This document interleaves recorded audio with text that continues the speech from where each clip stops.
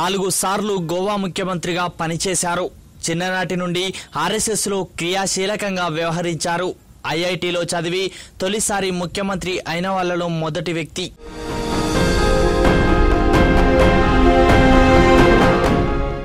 అది గోవా పనాజీ ప్రాంతం. ఒక యాభై సంవత్సరాల వయసున్న వ్యక్తి ట్రాఫిక్ సిగ్నల్ దగ్గర హెల్మెట్ పెట్టుకుని స్కూటర్పై గ్రీన్ సిగ్నల్ కోసం ఎదురు చూస్తూ ఉన్నాడు.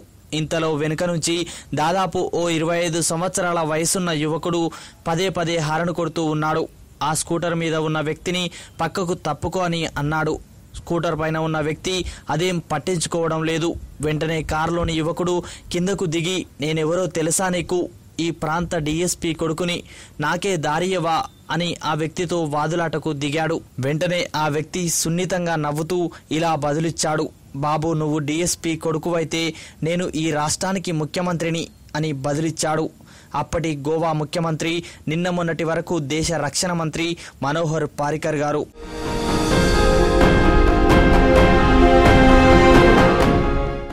రక్షణ శాఖ మంత్రి కాకముందు వరకు మన భారత రక్షణ దళాలకు ప్రత్యేక పరిస్థితులలో వాడే ప్రత్యేకమైన షూస్ను ఒక్కొక్క జత ఇరవై ఐదు వేల రూపాయల చొప్పున ఇజ్రాయెల్ నుంచి దిగుమతి చేసుకునేవారు. మనోహర్ పారికర్ గారు రక్షణ శాఖ మంత్రిగా బాధ్యతలు స్వీకరించిన తర్వాత ఈ ప్రతి అంశాన్ని క్షుణ్ణంగా పరిశీలిస్తున్న తరుణంలో షూస్ని మనం ఇజ్రాయెల్ నుంచి ఇరవై ఐదు వేల రూపాయలకు కొనుగోలు చేయడం చూసి వాటిని ఇజ్రాయెల్ నుంచి దిగుమతి చేసుకొనడం బదులు భారతదేశంలోనే తయారు చేసుకోవచ్చుగా అని బదులిచ్చారు. ఆయన ప్రత్యేకమైన షూస్ గురించి వాకప్ చేయడంతో బిత్తరబోయే అంశాలు వెలుగులోకి వచ్చాయి. ఆ షూస్ని తయారు చేస్తున్నది మన భారత్లోని రాజస్థాన్లోనే.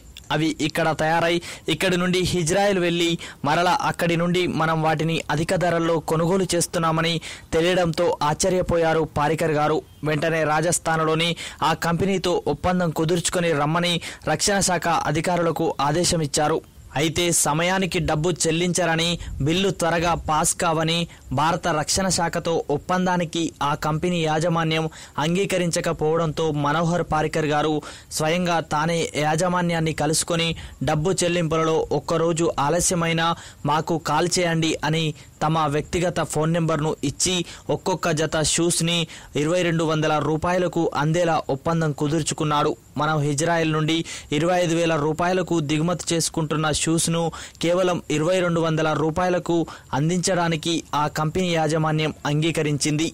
మనోహర్ పారికర్ గారి పనితనం ఎలా ఉంటుందో చెప్పడానికి ఇది ఒక ఉదాహరణ మాత్రమే. దేశంలోనే భూతద్దం పెట్టినా దొరకని ఇలాంటి సామాన్యమైన అసామాన్య జీవితం ఉన్న ముఖ్యమంత్రి రాజకీయాల్లో చిన్న చిన్న పదవులున్న పెద్ద పెద్ద బిల్డప్ ఇచ్చే ఈ కాలంలో ఒక వ్యక్తి కొరకు రాష్ట్రం కేంద్రం డిమాండ్ చేయడం చూస్తుంటే ఆయన నిజాయితీ ఏపాటిదో అర్థమవుతుంది. ఆయనే మనోహర్ పారికర్. అదే నిజాయితీ గల వ్యక్తికి ఉన్న గుర్తింపు. మనోహర్ పారికర్ గారు రక్షణ మంత్రిగా రాజీనామా చేయడం అనేది జీర్ణించుకోవడానికి చాలా కష్టంగా ఉంది. అసలు ఊహించని పరిణామం. ఇంతవరకు పనిచేసిన డిఫెన్స్ మినిస్టర్లో పారికర్ గారు ఎవరెస్టు లాంటివారు. కేవలం రెండే రెండు సంవత్సరాలలో అనేక మార్పులు సంస్కరణలు తీసుకొచ్చారు. నిజంగా ఈ వార్త తట్టుకోవడం చాలా కష్టమే. ఒక సామాన్య ముఖ్యమంత్రి అసెంబ్లీకి స్కూటర్ మీద వెళ్తాడు. ప్రోటోకాల్ ఉండదు.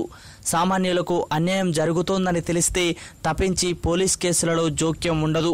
ఆ రాష్ట్ర ముఖ్యమంత్రిని కేంద్ర ప్రభుత్వం మంత్రి పదవి ఇచ్చి మరీ రమ్మంది. ఒక ముఖ్యమంత్రి తమ రాష్ట్రం నుండి కేంద్ర మంత్రిగా వెళ్తున్నారు అంటే సంతోషించే వారే కదా ప్రజలు. అయితే పారికర్ గారిని గోవా ముఖ్యమంత్రి పదవికి రాజీనామా చేసి కేంద్ర రక్షణ మంత్రి బాధ్యతలు స్వీకరించమని కోరినప్పుడు యావత్తు గోవా కంటతడి పెట్టింది. రాజకీయ నాయకులు అంటేనే అసహ్యం ఉన్న ఈ రోజుల్లో తమ నాయకుడు తమని వదిలి కేంద్రానికి వెళ్తున్నారంటే ప్రజలు కన్నీరు పెట్టారంటే ఆయన ఎంత పెద్ద నాయకుడో ఇట్టే చెప్పవచ్చు. ట్రాఫిక్ జామ్ అయితే కారు దిగేసి ఆ పక్కనే స్కూటర్పై ఉన్న వారిని లిఫ్ట్ అడిగేస్తాడు. బడ్డీ కొట్టులో టీ తాగేస్తాడు. ఫుట్పాత్పై ఉన్న బజ్జీలు తింటాడు. అదేంటి? అంటే పాలన గురించి బడ్డీ కొట్టులో తెలిసినంత మరెక్కడా తెలియదు.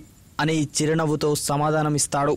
గోవా ముఖ్యమంత్రిగా ఒక కాన్ఫరెన్స్కి హాజరు కావలసిన సమయంలో ఓ హోటల్ వద్ద కారు ఆగింది. ఆ కారులో నుండి ఒక వ్యక్తి దిగి ఒక చేత్తో బ్యాగ్ మరో చేత్తో ఫైల్స్ మామూలుగా నడుచుకుంటూ వెళ్ళిపోయాడు. వెనుక సెక్యూరిటీ వచ్చారు. ఎక్కడ గోవా ముఖ్యమంత్రి అని వారికి అడిగితే అదిగో ఫైల్స్ మోసుకు వెళ్తున్నారుగా ఆ వ్యక్తి మా ముఖ్యమంత్రి అని చెప్పారట. తీరా లోపలికి వెళ్ళాక ఆ స్టార్ హోటల్ గేట్ వద్ద ఉన్న వ్యక్తి ఎవరు మీరు? లోపలికి వెళ్తున్నారు అని ఆపేశారట. వెనుక నుంచి సెక్యూరిటీ వచ్చి మా ముఖ్యమంత్రి అని చెబితే అవాక్కయ్యారట. అంతటి మంచి వ్యక్తిత్వం కలిగిన వ్యక్తి తమ రాష్ట్రం నుండి వెళ్తున్నాడంటే బాధతో కన్నీరు పెట్టారంటే నమ్మలేం. ఆ వ్యక్తి ఎంతటి ధనికుడో మీరే చెప్పాలి. అత్యంత పేద కుటుంబం నుండి వచ్చి ఐఐటి పట్టా పొందాడు పారికర్. మనకు ఇటువంటి నాయకులు కావాలి. కోట్లను కోట్లు ప్రజాధనాన్ని దోచుకునే నాయకులు వద్దు.